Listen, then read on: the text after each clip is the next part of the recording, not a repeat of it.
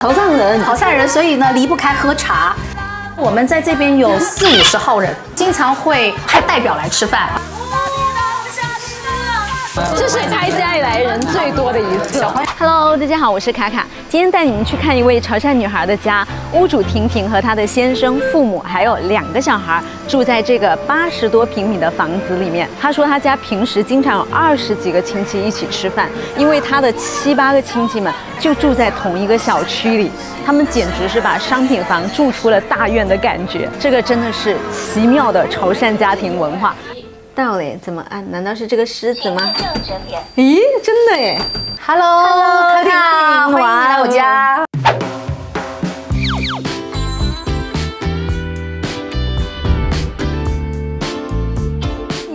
在二楼，但是风景很好哎。对，当时买这个房子就是因为看中有一个比较大的露台，因为我们家很多亲戚在这个小区，所以我当时是一定是要选这个位置来买房子的。那我的需求很明显，要么就要顶楼，要么就是一定要二楼平台，可以种花种草。我刚刚在楼下还说这是奇妙的潮汕家庭文化，就是一定要很多亲戚住在同一个小区，因为我们在这边有四五十号人，所以你们也有一个大院了是吧？对他们每天晚上出去就去散步，我说你们这都不叫散步，你们这叫游行你们下去。当时买这个户型它是怎么样的？它原来其实是格局不太好的一个房子，开门就是见到一个厕所，那我就把厕所的门子改了，做了一个玄关，对，会有一整面的个鞋柜。这边原来是它原来是餐厅，原来的餐厅会比较小，这堵墙就机器人的那个墙啊。然后我把这个墙往后退了六十公分，让这个餐厅更大一点，因为毕竟我们家吃饭经常少说就是二十口人吧，多则多则可能三四十口。天哪！所以经常会派代表来吃饭，所以餐桌一定是要大一点点。但是潮汕人呢比较传统一点点，所以一定要圆桌。对对，椅子也是，每把都不一样啊。你像木。色，这是为了老人家选的。然后之前我选了这个红色的椅子，被我爸吐槽的要死。好，现在天天坐的就是它。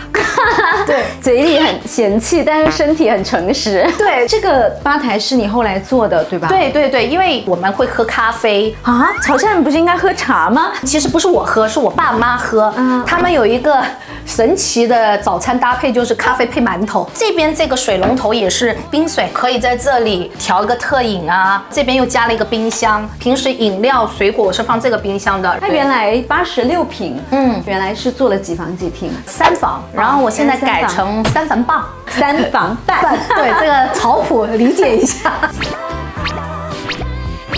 这个是三厅，其中的一个厅，这边是个客厅。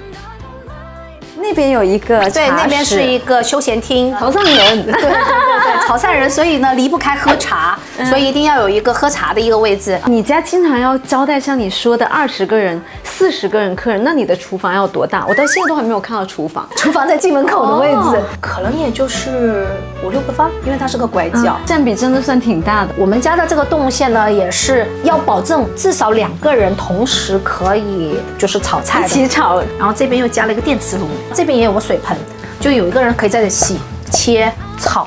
然后你看你那边又有一个水盆，这个动线就两个单独，那边洗、切、炒、放。嗯，因为稍微把淋浴间压缩了一下，就把蒸箱和烤箱。放了进来，像我们有的时候烤的不够，我们还得把这个空气炸锅也也也也用上，对，也要用上。然后这边的话就是消毒碗柜，然后还有洗碗机，因为我们吃的人太多了。这家谁炒？大部分是我妈，嗯，所以我妈当时提出来的厨房的唯一一个要求不是大，是一定要有空调，因为它经常热气腾腾。对，因为以前没有空调的时候，我妈还得支楞一个风扇在厨房，这个是直接这么拉过来加水。想想我们要煲汤，你看这边已经煲了汤。好香啊！这是鸡汤吗？已经煲好了。对，今天晚上不是有人来吃饭嘛，然后我妈就提前就煲好了汤，我就选了史密斯的燃气灶，这个很好用的。你像它炸东西，它就可以很精准的调那个油温。嗯，哦，所以这样才会好吃。没有烟，你发现没有？这里。对对，而且挺静音的。你这个动线也是合理的，这个餐厅离厨房很近，就是菜端过来就可以吃了。这边是个热水吧？你们分的这么细啊？因为我比较稀释，说我喝冷水，然后老人家喜欢喝热水，他们有的时候会有一些速溶的咖啡，哎，可以就在这里。那我有一些喝的一些花茶，它是即热的呀，即热的。它有一个儿童锁，然后你就点开这儿童锁，一掰热水就可以出来了。哦。然后我们平时洗杯子的话，我们就倒水在这儿。然后像这种杯子是有些造型的，你就弄了一个这个洗杯器。啊，会被压坏哦。对，你看这个很方便，包括红酒杯那些是不是也可以在对这边你就是洗完以后你就放在这里可以在啊对沥水就可以在这里沥水。这个台面为什么会高呢？就是因为设备我都藏在下面了。哎，我家用的也是他们的净水器。对我们家还用了蛮多它的产品，你像中央空调、新风，包括我们家的抽油烟机、燃气灶、热水器都是它的，因为它可以直接就在手机里面去解决了。我之前也是用 A.O. 史密斯的净水，但是我不知道它原来还有这么多东西都可以一起在一个系统里。这个就是我说的那个半间房，就做了一个开放式的一个书房，可以看到客厅，这里还可以当留宿客人，对不对？对，这是我小姨睡的，就我小姨每个周末会过来打麻将，每个周末来打麻将，客人都有房间。拉起来。哦，你对用了一个推拉门把它跟客厅隔开了。，对对，这边是不是也可以拉？是的，拜拜。关起来里面很安静哎。对，然后又可以作为一个沙发的一个背景墙。敞开的时候，我希望更多的空间是互动的，就定了一个可以旋可以转。哦，这是专门定做的。对，，然后就可以转过来这边就是给客厅。这个就是你小孩的房间。对，，地上的这个地毯是我专门给他订的，因为这个是他写给我的，哇从鞋垫儿里面拿出来的情书，因为他怕丢了，他觉得放在鞋垫儿里面是最安全的。然后我说，嗯，挺有味儿的，所以我就把它做成地毯。这边就是我们的洗手间，我不是说原来他的厕所是向着门口的嘛，那我就把门口的方向改到这边来了。其实位置没变，只是把开门的地方变了一下。对对对对，然后这边呢，这里还有还有一间房，父母的房间。房间对，这个外面还有一个小的一个露台。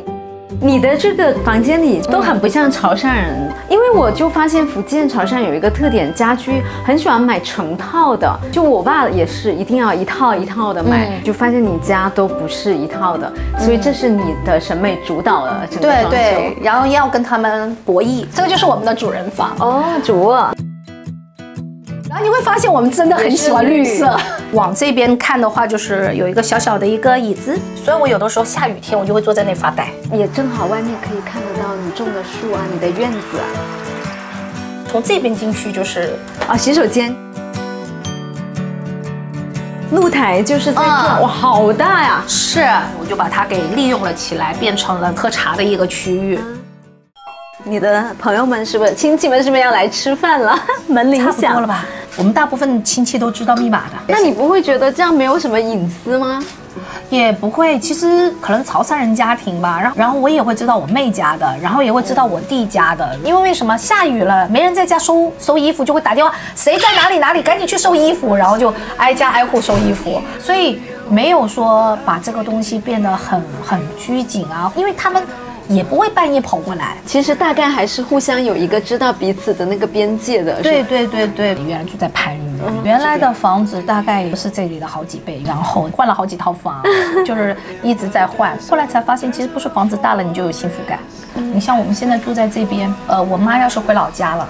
我没饭吃了，我就会去小舅妈那里吃，然后小舅妈那里吃腻了，我就去我三姨那里吃，然后我三姨那里我又觉得不好吃了，我就跑二姨那里去吃。我每天可以换着不同的口味。一碗热汤的距离，然后你又平时互相有一个照应。我表妹，然后表妹的堂姐和老妈。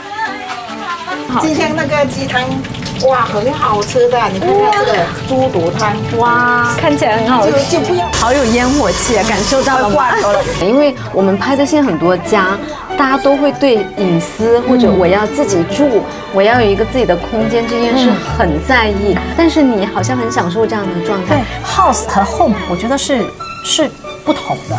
那是因为有人在里面，房子才能称之为家。现在大家都住在商品房里，都是一个一个单独的盒子。但是当你的周围有亲戚以后，嗯哪怕你在一个陌生城市，你就会觉得，哎，好像你没有离开家。对对这是拍家以来人最多的一次。小朋友说，啊，我跟你介绍一下我们家里的这个我爸。哦，是这样啊。对对，阿姨好。对，我小姨，我小舅妈，然后我小舅、小姨丈、哦六妹夫，然后我老公。哦，对，然后那边就是一群小朋友。你们这样的聚会多久一次？我们家这样子的聚会，平均一个月至少两次吧，我觉得差不多。真的啊？应该都是隔三差五。对，隔三差五。嗯。